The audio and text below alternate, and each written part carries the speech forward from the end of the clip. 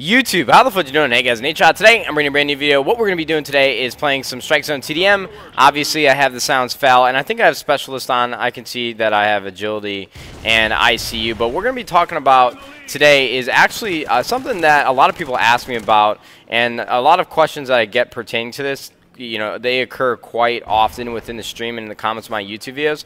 I want to talk to you guys about how to convince your parents to let you guys play Call of Duty more. And I'm getting early death. That's cool. I'm going to push up top hall really quickly. See if I can just break this right off the rip. And, and I'm dead. All right. Two deaths right off the rip. Not a good start, but that's all right because I just want to talk to you guys today and, and hang out it's all good what happens in the game. We'll, try and turn up here as much as we can. Uh, but what I want to help you guys with is your parents. Because when I started playing, it was a constant struggle. struggle. Before I started making money playing Call of Duty, it was more of a struggle than you guys will ever know. Because every time that I wanted to play, my parents were just on my case about it. It's like, why don't you get off the game? Why don't you come outside? why don't you go do normal things that kids are doing these days? And they just didn't really understand the love that I actually had for the game and how much I actually enjoyed playing it.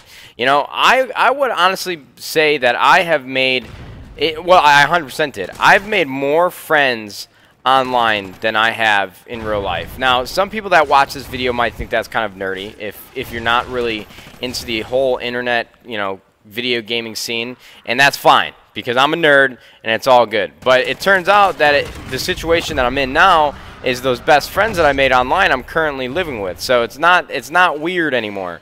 And I don't consider it weird at all to, to make friends online because, you know, I, I think online is where you get to meet somebody and really know who they are because you're spending eight hours a day with these guys, if, depending on how much you're playing, and the entire time you're sitting there just talking to each other. So it's like you you become really good friends.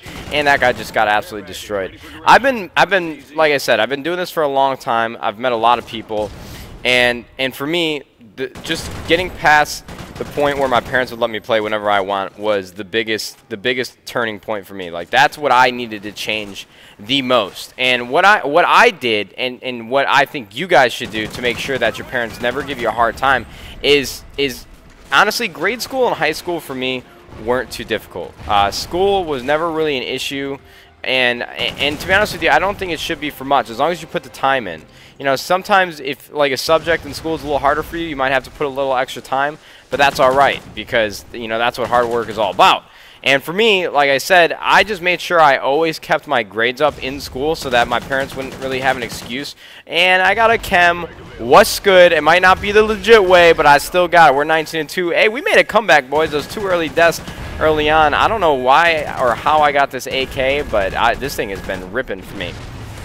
So like I was saying, I, I, always kept my grades up to make sure my parents really couldn't give me any flack in, in that aspect.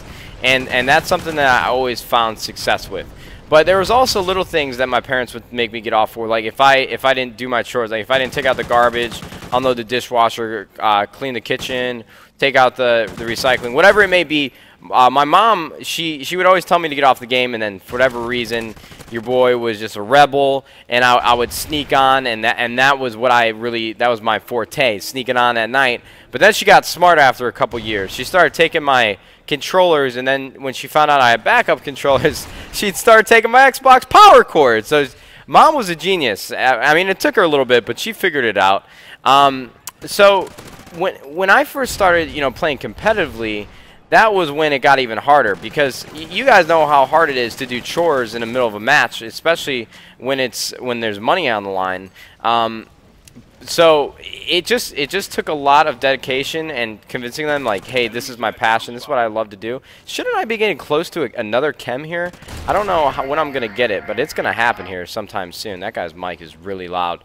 But for me, guys, I really think that's the biggest thing. Is just keeping your grades up making sure you do your chores when you get home from school, and uh, you know just get staying out of trouble. And that's what I did in high school and, and grade school. I didn't get in any trouble. I never was somebody who was playing pranks in class, but that was just me. And this guy's got music bumping in the background. I can feel it. Keep your grades up, stay out of trouble, and game until you cannot game anymore because I love this stuff, and I'm sure a lot of you guys do too. So I hope you guys enjoyed the video. We ended up going 32 and 2. Not sure where that second KEM came in. Uh, if you guys can let me know what happened in the comments below, it would be very much appreciated. Thank you very much for watching, and YouTube. We'll see you fudging later.